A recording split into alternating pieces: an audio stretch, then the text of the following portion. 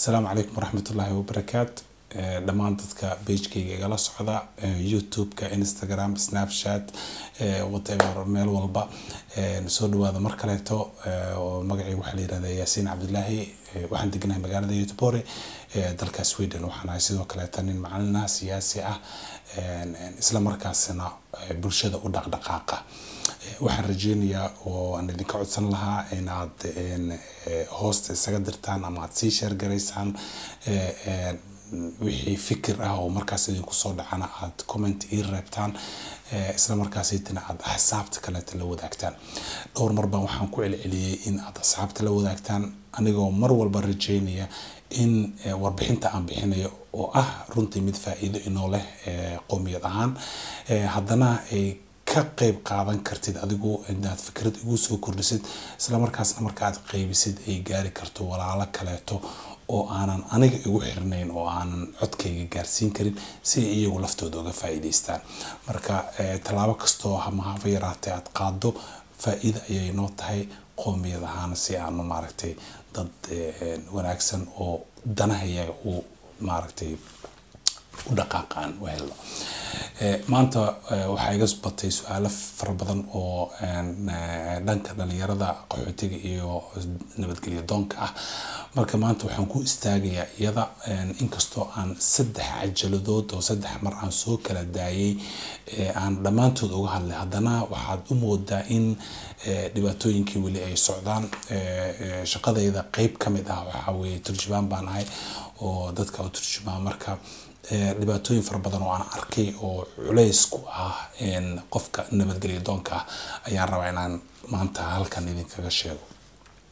Waxaad ila socotaan oo ila ogaataan in qofka bini aadanka ahi marka uu halkan imanayo wadanka yurub markaad imanayso adigaa iskaa u yimid adigaa wadankan ama si sahal ku imo ama rafaadka libiya soo mar yacni waa go'aan aad adiga gaartay. Waxaan jeclaan lahaa micnaha inaad horta aad fahamtid waxaan yani imaatinka halkan aad timaaday of course ilaahay baa kuu ogolaaday laakiin ilaahay kuma keenin halkan. Yani go'aan adiga aada gaartay dartiis baad u timid. Marka ha dhihin adigoo dadaali kara oo howl qaban kara oo dadaali kara inaad tiraahdo maya qadar allah waaye. Siduu ilaahay ka dhigay noqonaysaa yani taas waxaa weeye waa dib dhac adiga aada samaysay oo adigana qof ahaan kuwa imaanaysa.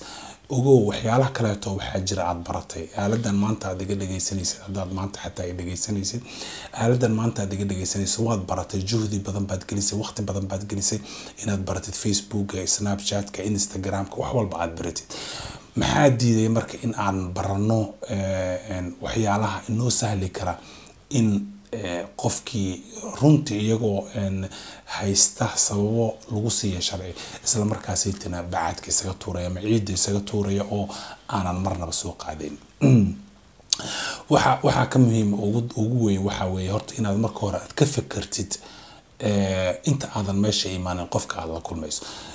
Runtii anigoo idiin garaabaya ayaan haddana waxaan jeclahay inaan xoogaa canaan yaryar iyo maaragtay dhiiragelin ay iga tahay inaan idinkugu daro. Sababta waxay tahay waa lama huraan in aad xoogaa dhegta isjiidid adiga laftaada oo mas'uuliyadda dhinacaada aad ka qaadato muxuu ahaa waan ogahay dadka kula kulmaya inay yihiin dad jaamiciyiin ama jaamacada ka soo baxay oo aqoon fara badan leh oo yacni intooda badan dadka hadeertaan wax doonanaya aanay isku level ahayn ama isku garaad ama maaragtay isku heer aanay ahayn oo mar walba uu kaa hirduwan yahay laakiin waxaad ku ku fikirtaa micnaha sheekada adiga aada wadatid ama dhibaatada adiga kugu soo dhacday ood rabtid qofka kaleeta inaad uga sheekayso oo uu kula garto inaad bal marka hore adiga isaga sheekayso. Haddii adiga ay kaa dhaadhacdo qof saaxiibka ama qofka eheladaada aada la degan tahay inaad xitaa uga sheeg bal isaguna inay ka dhaadhacdo. Micnaha meel meelo socotaan. Waxaan waxaan dareemayaa yani inaad inaad fahmaysa marka sheekadaada hadday daldaloola leedahay qofku aaminaysa ma laha. Adigoo runtii xaq u leh inaad wadanka joogtid oo anigu haddaad ii sheegi lahayd sida soomaali ahaanta haddaad iigu sheegi lahayd anigu waan ku fahmi lahaa. Laakiin aniga ma hadee qofka wax ku siinaya qofka wax ku siinaya waa qofka kaleeto oo muxuu ahaa ku wareysanaya oo meesha jooga. Caddaan iyo madow wuxuu doona ha noqdo maanta migrationka dad fara badan baa shaqooyin ka haya oo oo ma aha waagii caddaanku kaliya ay fadhiyeen. Marka dadkuna waa dad loo waa dad loo tarbiyadeeyey loo carbiyey in ay muxuu ahaa wax kala soocaan dadka kala soocaan. So marka waxaa jira dad soomaalidaba ha u badnaadaane kala soocistaas la kala soocayay qaarkood inay ku dhex dhacaan meel lagu aamini waayo hadalkaaga iyo iyo waxa aad markaas damacsan tahay. Sidii burburkii soomaaliya uu u dhacay waxaa jirta dad fara badan oo runtii waxaad u moodaa waxa aan rabnaba ma sheegan karno. Qof baa waxaa leedaha waryaa waxaa ii sharax. Wuxuu ku leeyahay ha waxaan waxaan le waayno yacni sharaxaadda ma aha ii sheeg kala saar micnaha waxna waa wax ii sheeg.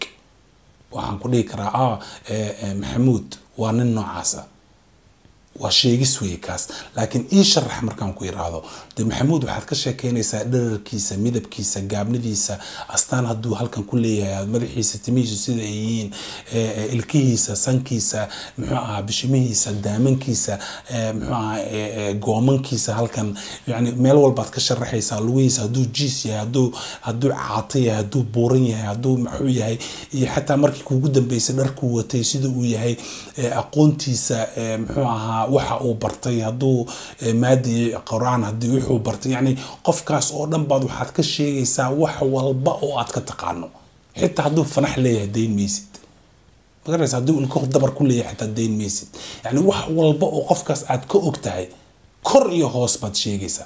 So marka ii sharax marka lagu dhaho magaalada aad ka timid oo kaleeto dee magaaladii oo dhan baad sharaxaysaa waxaad sharaxaysaa gurigii waxaad sharaxaysaa dhismihii waxaad sharaxaysaa dariiqyadii waxaad sharaxaysaa xataa midabada iyo kalarada iyo iyo iyo guryuhu ay qabaan. Waxaad sharaxaysaa geedaha qashinka meesha lagu rido meesha jidka loo socdo halka aad u socoto halka aad ka timid yacni sawir waxaad siinaysaa meesha oo yani aad waana lagu sheegaya de waxaan maaha waxaan anigu hoosta idinkaga soo dusinayo. Meesha marka aad fadhidid baa waxaa lagu leeyahay waxaan rabnaa wax walba inaad naga dhaadhiciso. Anigu weligay ma tegin bay ku wadanka soomaaliya soo ii sheeg. Yani waxaan maaha waxaan aan anigu iska sheegayo. Waa wax adiga lagaa rabo weeye. So marka waa inaad wax kasta sheegtaa midda kaleeto haddaadan taariikh xataa aadan sheegi karin. Yani waxaad isku qabanaysaa tusaale ahaan maanta waa idin dhexgelinaya tacsiima waxaan u dirayaa laba sano baa laga joogaa afar iyo tobankii octoobar weye caaw maanta galab weye waxa aan duubayo. Insha allah waxaan rajeynaya isla caawa inaan soo geliyo. Haddii ilaahay idmo waxaan u tacsiyadeynaa dadkii meesha ku baaba'ay. Tirooyinku waa la dhexal maraya qaar saddex boqol bay leeyihiin qaar afar boqol bay leeyihiin kuwa shan boqol bay leeyihiin. Marka inta dhimashada ah kuwa dhaawacay marka laysku dara adigu sagaal boqol meelahaas qof bay gaarayaan. Inta dhaawacantay ilaahay ha u booga dhagay waxaa jira dad weli dhaawacii muuqaalkii koray xanuunkii uu tagay laakiin kuwa waxaa jira maskixiin xataa u dhaawacan iyaguna waxaan ilaahay uga baryayaa inuu caafimaad sariic ah oo taam ah inuu ilaahay siiyo. Inta ku dhimatayna samar iyo iimaan dhammaanteed naga siiyo. Intaas marka aan uga baxo micnaha maantadan oo kaleeto micnaha haddii dhacdada kugu dhacday waxaad dhihi kartaa hebel hebel arintaas igu dhacday waxay isku aadanayeen maalintii qaraxi sooba u dhacayay oo kale micnaha ma fahmaysaa? Adoonan taariikhna xataa sheegin ayaad waxaad isku xiraysaa dhacdada adiga kugu dhacday iyo dhacdo kaleeto oo meel kale ka dhacday baad isku xiraysaa. Xitaa haddaadan muqdisho joogin de waxaad dhihi kartaa war maalintii aan muxuu ahaa kismaayo joogay. Waxay ahayd maalin ay dhibaato ama ama farxad ama caleemasaar ama muxuu ahaa qalinjabin dugsi arday ay ka dhacday magaalada muqdisho ama ama muxuu ahaa xarunta galmudug. Ama puntland iyo muxuu ahaa somaliland. Yani waxay doonta ha ahaato. Meesha waxaad isku xiraysaa marka dhacdadan dhacday iyo dhacdadan adiga kugu dhacday iyo waxaad isku xiraysaa dhacdadan kaleeto caamka ah oo la yaqaano. Iyada lafteeda xataa waa waa yani wax socon kara waay oo la laqi karo ma fahmaysaa. Cajaladeyda aad bay u dheeraatay sida aan filayo muxuu ahaa halkaas baan maaragtay maanta aan ku soo gabagabeynaya aan ku joojinaya magacayga mar kale haddaan idinku celiyo waxaa la yirahdaa yaasiin cabdilaahi waxaan deganahay magaalada Göteborg ee dalka Sweden. Waxaan idinka raali gelinayaa in aan cajaladii qeybteedii hore halkan intaa aan ku joojiyey sababtu waxay tahay cajaladu way dheeraatay kadib markii dad fara badan ay ka cawdeen cajaladaha dhaadheer oo aan aan aan soo duubayo. Marka cajaladan qeybteedii baan halkan ku joojinayaa insha allah qeybtii labaad waxay imanaysaa toddobaadka dambe oo soo socda haddii ay baraali ka noqdo. Waana ku kala qorayaa isku magac baanu sameynayaa kow iyo laba baan ku qoraya haddii ilaahay idmo. Inta aanu kulan sidaan oo kaleeta aanu ku kulmi doonana waxaan idinkaga tegayaa amaan allah iyo amaan rasuul. Kulanti dambe oo leh